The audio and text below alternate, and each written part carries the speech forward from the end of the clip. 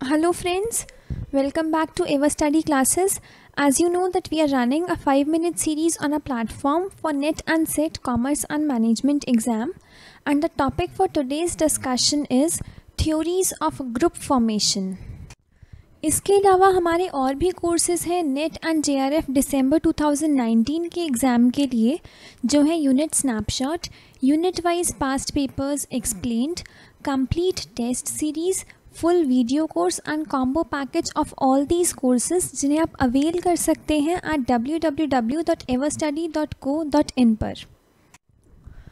What is a group group एक aggregation होता है दो या दो से ज़्यादा इंडिविजुअल्स का, जो आपस में इंटरेक्ट करते हैं, एक दूसरे के साथ काम करते हैं कुछ कॉमन गोल्स को अचीव करने के लिए। एक ग्रुप के इंडिविजुअल्स इस बात से अवेयर होते हैं कि वो उस ग्रुप का पार्ट है और उस ग्रुप की एक्टिविटीज़ को लेकर भी वो काफ़ी अवेयर रहते हैं। नेक्स्ट आता है ग्रुप फॉर्मेशन एक नए ग्रुप का फॉर्मेशन प्रोसेस तब स्टार्ट होता है जब कुछ इंडिविजुअल्स एक साथ आते हैं, एक दूसरे को जानने की कोशिश करते हैं और उनके बीच में कुछ इंटरेक्शंस होती हैं। यहाँ पर ग्रुप के मेंबर्स काफ़ी एक्साइटेड होते हैं ग्रुप के टास्क को लेकर और जनरली लोग ग्रुप को इसीलिए ज्वाइन करना चाहते हैं क्योंकि उनकी डिज़ायर होती है कि लोग उन्हें एक्सेप्ट करें अपने ग्रुप में और वो एज एन इंडिविजुअल कोई भी कंट्रोवर्सी या कॉन्फ्लिक्ट को अवॉइड कर सकें। नेक्स्ट आती है थ्योरीज़ ऑफ़ ग्रुप फॉर्मेशन तो यहाँ पर हम तीन थ्योरीज़ को डिस्कस करेंगे। First one is Homans theory next is exchange theory of reward and cost outcome and the last one is balance theory तो आइए इन तीनों थ्योरीज़ को डिटेल में डिस्कस करते हैं।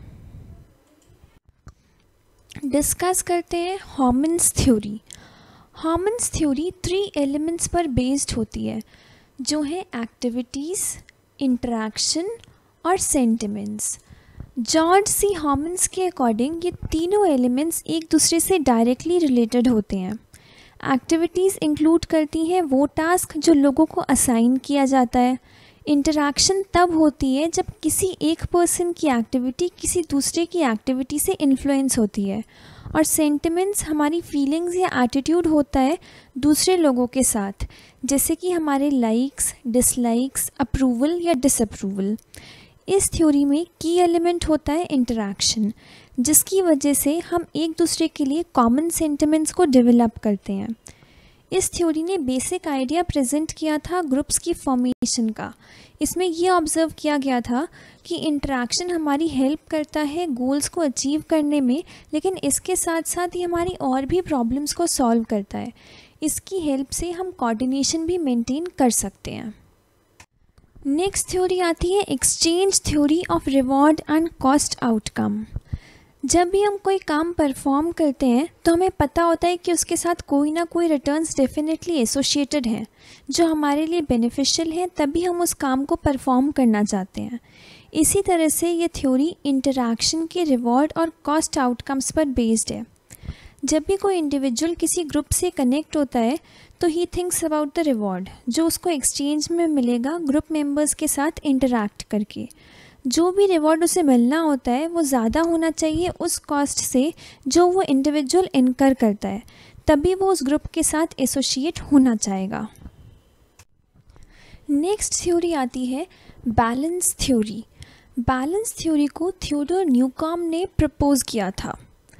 इस थ्योरी में ये स्टेट किया गया था कि हम एक दूसरे से अट्रैक्ट होते हैं on the basis of similar attitudes और वो भी किसी कॉमन और रेलिवेंट ऑब्जेक्टिव या गोल्स को अचीव करने के लिए।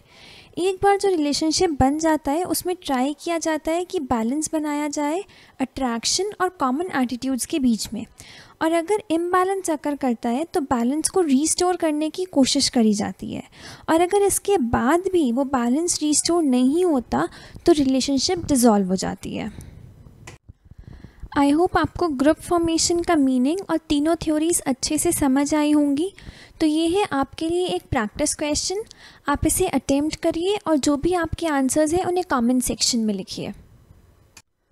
Thank you so much for watching this video please like subscribe and share in case of any query you can reach us at the details mentioned on your screen you can get the P D F of this video on a Telegram channel and you can also download a free learning app from Google Play Store.